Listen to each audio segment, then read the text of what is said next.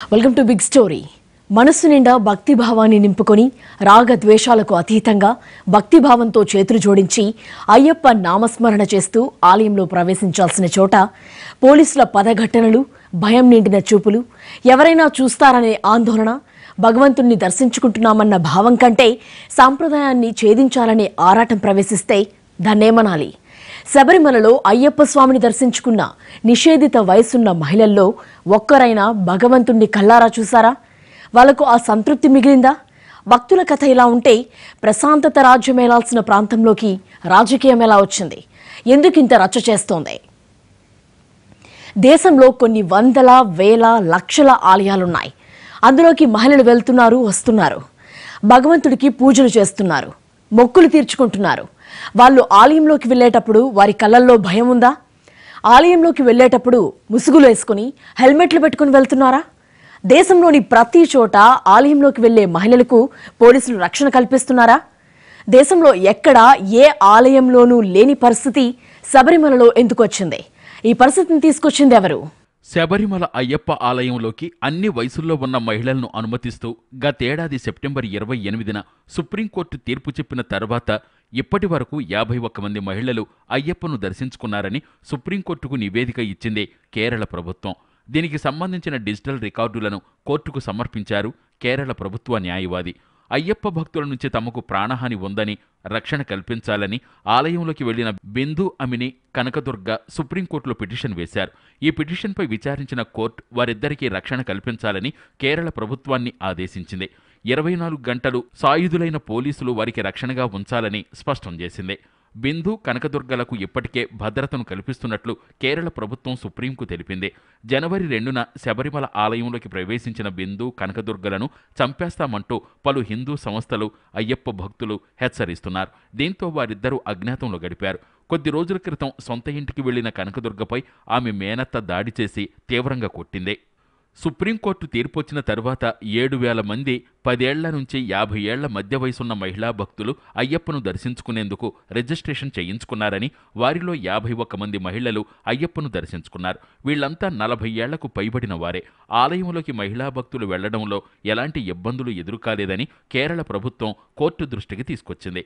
ఈ ఏడాది శబరిమలలో అయ్యప్పను దర్శించుకునేందుకు పదహారు లక్షల మంది భక్తులు ఆన్లైన్లో రిజిస్ట్రేషన్ చేయించుకున్నారు. ఇందులో ఎనిమిది పాయింట్ రెండు లక్షల మంది భక్తులు స్వామి ఆన్లైన్ క్యూలైన్ సిస్టమ్ ద్వారా దర్శించుకున్నట్లు కేరళ పోలీసులు తెలిపారు. నిషేధిత వయసున్న మహిళలు ఏడు వేల ఐదు వందల అరవై నాలుగు మంది రిజిస్ట్రేషన్ చేయించుకున్నారని అయితే వీరంతా ఆలయంలోకి వెళ్ళేందుకు శబరిమల రాలేదని ప్రభుత్వ వర్గాలు చెప్పాయి. అయ్యప్పను దర్శించుకున్నారని ప్రభుత్వం చెబుతున్న యాభై ఒక్క మంది మహిళల జాబితాలో స్వామివారిని దర్శించుకున్న బిందు అమిని పేరు లేదు. ప్రభుత్వం ఇచ్చిన జాబితా అంతా తప్పుల తడక అని ట్రావెన్కోర్ దేవస్వం బోర్డు మాజీ అధ్యక్షుడు గోపాలకృష్ణన్ కొట్టివేశారు. అయ్యప్పను సందర్శించుకున్నారని చెప్తున్న యాభై ఒక్క మంది మహిళల పేర్లతో పాటు వారి అడ్రస్లు ఆధార్ కార్డు నెంబర్లు బయటకొచ్చాయి. ఇది వ్యక్తిగత గోప్యత హక్కుకు భంగమనే వాదన మొదలైంది. కేరళ ప్రభుత్వంలో కొంతమంది కావాలనే ఈ జాబితాను విడుదల చేసినట్లు తెలుస్తోంది. యాభై ఒక్క మంది మహిళల జాబితాపై స్పందించిన సుప్రీంకోర్టు యాభై మంది ఐదు వందల మంది అనేది తమకు అవసరం లేదని స్వామిని దర్శించుకోవాలని భావించిన మహిళలందరికీ దర్శనం కల్పించాలని పేర్కొంది. అయ్యప్పను దర్శించుకున్న కొంతమంది మహిళలు తమ పేర్లు ప్రభుత్వం కోర్టుకిచ్చిన జాబితాలో ఉన్నాయని తమ వయసు యాభై ఏళ్ళు దాటిందని చెబుతున్నారు. ప్రభుత్వం కావాలనే తప్పుడు లెక్కలు వేస్తూ రికార్డుల్ని తారుమారు చేస్తోందని ఆరోపిస్తున్నారు. ఆలయంలోకి యాభై ఒక్క మంది మహిళలు వెళ్ళారన్న ప్రభుత్వ ప్రకటనపై భక్తుల తరపున వాదిస్తున్న న్యాయవాదులు అభ్యంతరం తెలిపారు. ఆలయంలోకి ఎవరూ వెళ్ళలేదని ప్రభుత్వం రాజకీయ ప్రయోజనాల కోసమే ఎలాంటి ప్రకటనలు చేస్తోందని వాదిస్తోంది. కేరళ హైకోర్టు వద్దన్నప్పటికీ ప్రభుత్వం ఆలయం వద్ద పోలీసుల్ని మోహరించిందని అయ్యప్ప భక్తుల తరపు న్యాయవాదులు కోర్టు దృష్టికి తీసుకొచ్చారు.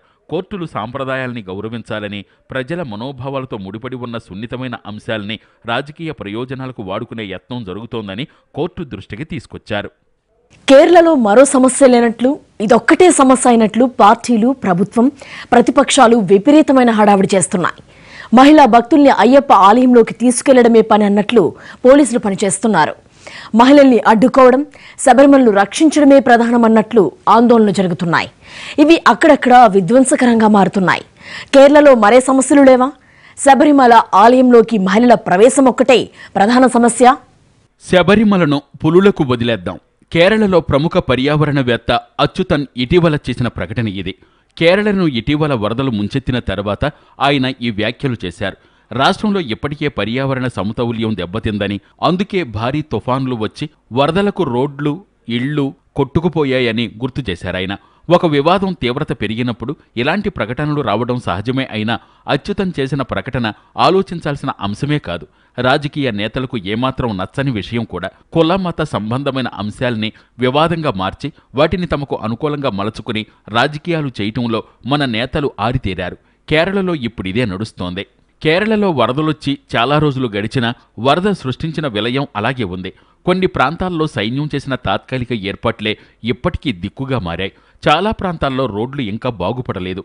బ్రిడ్జిల నిర్మాణం పూర్తి కాలేదు. కేంద్రం ప్రకటించిన వరద సాయం పూర్తిగా అందలేదని రాష్ట్ర ప్రభుత్వం చెబుతోంది. వరద బాధితులకు ప్రభుత్వం హామీ ఇచ్చిన సహాయం అందలేదు. అయినా ఇవేమీ అటు కేంద్ర ప్రభుత్వానికి గాని ఇటు రాష్ట్ర ప్రభుత్వానికి గాని రాష్ట్రంలోని ప్రతిపక్షాలకు గాని పట్టడం లేదు. అందరికీ శబరిమల అయ్యప్ప ఆలయంలోకి మహిళల ప్రవేశం ఒక్కటే సమస్య. మహిళల్ని ఆలయంలోకి పంపించాలని కేరళలోని ఎల్డీఎఫ్ ప్రభుత్వం ప్రభుత్వ చర్యల్ని అడ్డుకోవాలని బీజేపీ సంఘ్ పరివార్ తమ శక్తియుక్తుల్ని కేంద్రీకరించి పోరాడుతున్నాయి. ఆలయంలోకి ఇద్దరు మహిళలు ప్రవేశించిన తర్వాత కేరళలో చాలా విధ్వంసం జరిగింది. ఇప్పటికీ నిరసన ప్రదర్శనలు ఆందోళనలు జరుగుతున్నాయి. ఆందోళనకారులు జనవరి నాలుగున బస్సుల్ని తగులబెట్టారు. బంద్ పేరుతో విధ్వంసం సృష్టించారు. బంద్ ఆందోళనల వల్ల కోట్ల రూపాయల నష్టం జరిగింది. ప్రశాంతతకు మారుపేరుగా పర్యాటకులతో పచ్చగా కళకళలాడే కేరళ ఇప్పుడు భగ్గుమంటోంది. రాష్ట్రంలో సేవ్ శబరిమల శబరిమల పరిరక్షణ సమితి లాంటివి చాలా పుట్టుకొచ్చాయి. మరోవైపు ఈ వ్యవహారంలో వామపక్షాలు కూడా విమెన్ వాల్ ఇతరత్ర కార్యక్రమాలతో తామేమీ తక్కువ కాదన్నట్లు ప్రవర్తిస్తున్నాయి. పార్టీల తీరుతో ప్రజలే ఇబ్బంది పడుతున్నారు. త్వరలో ఎన్నికలు జరగనుండడంతో కేరళలో పాగా వేయాలని బీజేపీ అధికారంలో ఉన్న పట్టు నిలుపుకోవాలని వామపక్షాలు శబరిమల వివాదాన్ని మండించి రాజకీయం చేస్తున్నాయి. కేరళలో ప్రముఖ ఆలయాలు చాలా ఉన్నాయి. వాటిలోకి ప్రవేశానికి సంబంధించి కేరళ శాసనసభ పంతొమ్మిది వందల అరవై ఐదు కేరళ హిందూ ఆరాధనా వ్యవస్థల నిబంధనలు రూపొందించింది. అంటే ట్రావెన్కోర్ దేవస్వం బోర్డు ఋతుక్రమ దశలో ఉన్న ఆడవారిని గర్భగుడిలోకి ప్రవేశించడంపై నిషేధం విధించింది. కానీ ఆలయ ప్రాంగణంలోకి ప్రవేశించడంపై ఆంక్షలు పెట్టలేదు. అసలే ఆలయ ప్రాంగణంలోకే ఆడవారిని రానివ్వకుండా నిషేధించింది రాష్ట్ర శాసనసభ. ఈ నియమాన్ని శబరిమలకు భక్తులు ఎక్కువగా వచ్చే నవంబర్ డిసెంబర్ నెలల్లో విషు ఉత్సవాలప్పుడు ఖచ్చితంగా పాటించేవారు. పంతొమ్మిది వందల తొంభైలో ఒక భక్తుడు ప్రముఖ మహిళల విషయంలో నిషేధపు నియమాన్ని ఉల్లంఘిస్తున్నారని హైకోర్టుకు ఫిర్యాదు చేశారు. ఆ భక్తుడి అభ్యంతరాన్ని హైకోర్టు ఆమోదించి ఆడవాళ్ళ ప్రవేశాన్ని ఏకమొత్తంగా నిషేధించింది.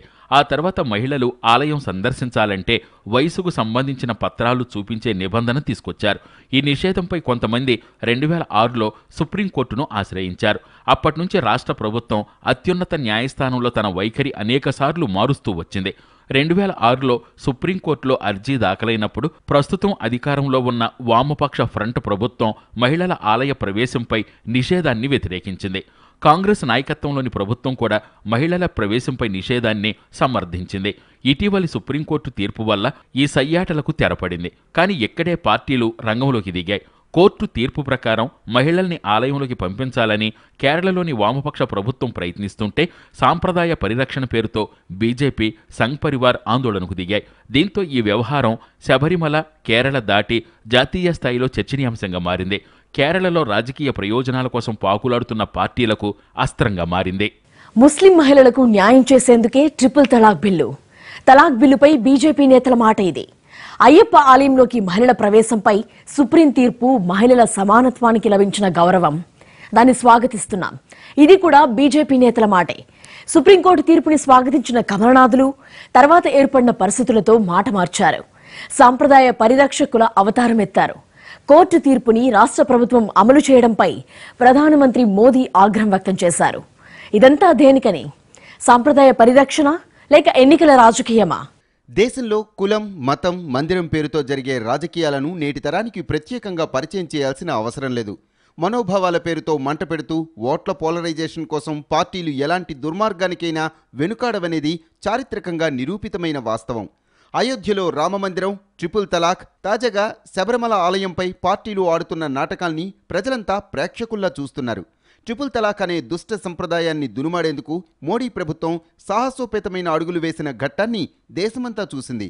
ఇది మా మతం మా సంప్రదాయం అంటూ ముస్లిం సంఘాలు అంటున్నా మహిళల పట్ల దారుణమైన ఆచారమని ఖండించింది. కోర్టుల్లోనూ ఇదే తమ స్టాండ్ అని ధైర్యంగా చెప్పింది. ట్రిపుల్ తలాక్ను నేరంగా పరిగణిస్తూ ఆర్డినెన్స్ తెచ్చింది.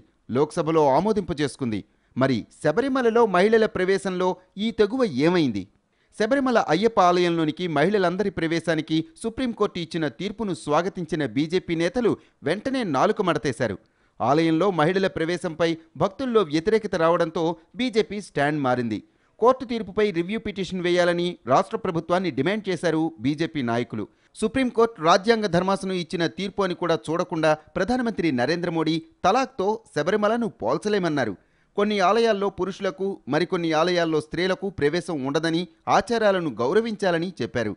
బీజేపీ అధ్యక్షుడు అమిత్ షా కేరళ వెళ్ళి కోర్టు తీర్పుపై తీవ్రమైన వ్యాఖ్యలు చేశారు. రాజ్యాంగవాదులు దేవుడి కంటే కోర్టు ఎక్కువ అనుకుంటున్నారని అరుణ్ జైట్లీ వ్యాఖ్యానించారు. శబరిమల ఆలయంలోనికి ఇద్దరు మహిళలు ప్రవేశించారన్న వార్త వెలువడగానే బీజేపీ సంఘ్ పరివార్ కేరళను అగ్నిగుండంలోనికి నెట్టేసింది. మహిళల ఆలయ ప్రవేశాన్ని నిరసిస్తూ బీజేపీ సంఘ్ కార్యకర్తలు ఎక్కడికక్కడ రోడ్ల మీదకు వచ్చారు. ఆందోళనలు హింసాత్మకంగా మారాయి. తిరువనంతపురంలో రాష్ట్ర సచివాలయం ముందు బీజేపీ కార్యకర్తల ప్రదర్శన హింసాత్మకంగా మారింది. అధికార పార్టీ కార్యకర్తలు బీజేపీ కార్యకర్తల మధ్య రాళ్ళదాడితో సెక్రటేరియట్ పరిసరాలు యుద్ధరంగంలా మారాయి. వీరిని అదుపు చేసేందుకు పోలీసులు లాఠీచార్జ్ చేయాల్సి వచ్చింది. బంద్ పేరుతో ఉద్యమకారులు రోడ్లను బ్లాక్ చేశారు. దుకాణాలు మార్కెట్లను మూసివేయించారు. పలు ప్రాంతాల్లో అధికార సిపిఎం కార్యాలయాలపై దాడులు చేశారు. కొన్ని చోట్ల ఆర్టీసీ బస్సులను ధ్వంసం చేశారు. కేరళలో ఇరవై లోక్సభ స్థానాలు తొమ్మిది రాజ్యసభ స్థానాలు ఉన్నాయి. ఇందులో బీజేపీకి ఒక్క సీటు కూడా లేదు. ఉత్తరాది రాష్ట్రాల్లో బలంగా ఉన్న దక్షిణాదిలో బీజేపీ ప్రభావం అంతంత మాత్రమే. కేరళలో అధికారం ఎల్డీఎఫ్ యూడీఎఫ్ మధ్య తరచూ మారుతూ వస్తోంది. ఈ పరిస్థితి బీజేపీ నాయకత్వానికి ఏమాత్రం రుచించడం లేదు. దేశంలో అన్ని ప్రాంతాలకు విస్తరించినట్లే కేరళలోనూ బలపడాలని బీజేపీ భావిస్తోంది. అందుకే ప్రజల మనోభావాలు భావోద్వేగాలతో ముడిపడిన శబరిమల వ్యవహారాన్ని నెత్తికెత్తుకుంది. శబరిమలలో మహిళల ప్రవేశాన్ని వ్యతిరేకిస్తూ రాష్ట్రంలో బంద్లు ఆందోళనలకు దిగుతోంది. ఇలాంటి విధ్వంసం వల్ల రాష్ట్రంలో బలమైన నాయర్ల ఓటు బ్యాంకుకు తాము ఎదురులేని ప్రతినిధిగా మారవచ్చునని బీజేపీ భావిస్తోంది. సెక్యులరిజం అంటే మత వ్యవహారాల్లో ప్రభుత్వం జోక్యం చేసుకోకపోవటం. కానీ మన దేశంలో చాలా వివాదాలు మతం చుట్టే తిరుగుతాయి. దీనికి ఆద్యం పోసింది రాజకీయ పార్టీలు వాటికి మద్దతు ఇచ్చే సంస్థలే. పంతొమ్మిది వందల ఎనభై ఐదులో షా బానో కేసు ఇటీవల రెండు వేల పదిహేడులో ముమ్మారు తలాక్ కేసు ఇప్పుడు శబరిమల ఆలయం వివాదం ఇలాంటివన్నీ ప్రత్యక్ష ఉదాహరణలుగా నిలుస్తాయి. ట్రిపుల్ తలాక్ శబరిమల కేసుల్లోనూ రాజకీయ పక్షాలు అనుసరిస్తున్న పరస్పర విరుద్ధమైన వైఖరులు అవకాశవాదానికి పరాకాష్ట.